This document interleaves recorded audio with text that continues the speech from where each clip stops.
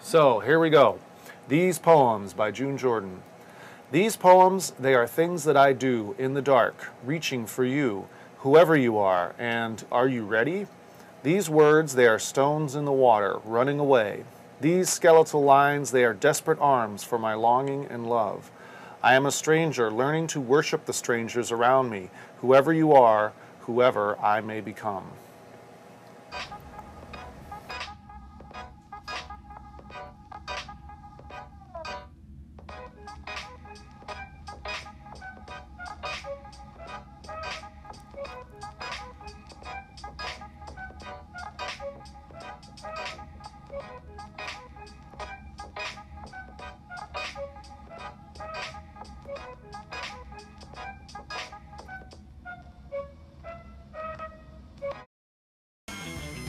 Poem for My Love by June Jordan. How do we come to be here next to each other in the night?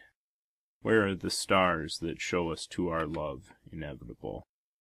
Outside the leaves flame usual in darkness, and the rain falls cool and blessed on the holy flesh, the black men waiting on the corner for a womanly mirage.